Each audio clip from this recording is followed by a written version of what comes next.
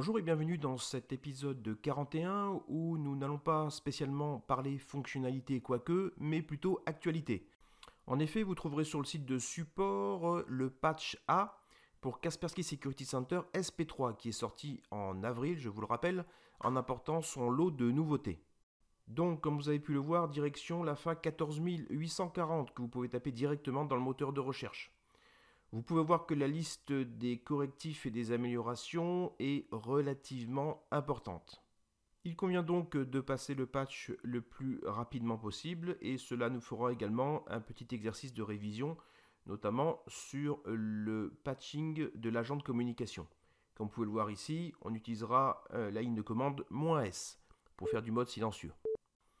Donc sans plus attendre, je vous invite à télécharger euh, le correctif pour le serveur d'administration, pour l'agent d'administration et optionnellement, si vous avez quelques consoles de déployer sur les postes des administrateurs, vous pouvez également télécharger le troisième patch. Pas de compétences spécifiques pour le correctif serveur d'administration, donc je vous invite tout simplement à le lancer sur le serveur où se trouve Security Center, bien sûr, et nous allons plutôt nous arrêter sur le correctif agent d'administration. Direction pour cela les paquets d'installation, puis création d'un paquet au format Kaspersky compatible avec tous les exés, BAT, CMD, MSI, etc. Pour faire ça proprement, je vais copier-coller le nom du patch et je vais pointer sur l'exécutable patch A agent de communication.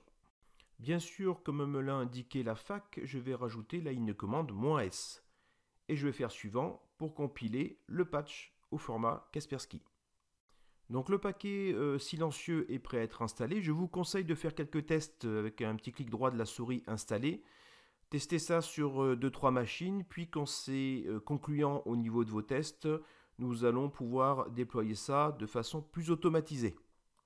J'en avais déjà parlé dans une précédente vidéo, mais l'installation automatique est vraiment adaptée à ce type de situation. Donc clic droit sur un groupe d'administration, puis tout simplement vous sélectionnez votre patch. Vous allez constater que dans l'onglet tâches, ça va vous créer une tâche horaire euh, qui va donc se déployer sur toutes les machines qui sont dans ce groupe d'administration. C'est ce que j'ai fait hier avant de réaliser cette vidéo, donc du coup nous allons voir les résultats après 24 heures de mise en place de cette tâche. Et on voit que c'est plutôt très correct puisque j'ai 17 machines euh, patchées avec succès. Une en échec, mais c'est un Mac, donc qui nécessite euh, bien sûr euh, euh, un, agent spécifique. Et cette machine éteinte, donc évidemment qui ne se sont pas mis à jour. Donc comme vous pouvez le voir, patcher c'est relativement simple et donc il faut absolument le faire.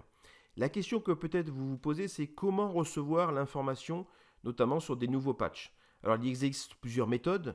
Je vous en conseille une, c'est tout simplement de vous inscrire à cette newsletter technique dont l'adresse s'affiche à l'écran.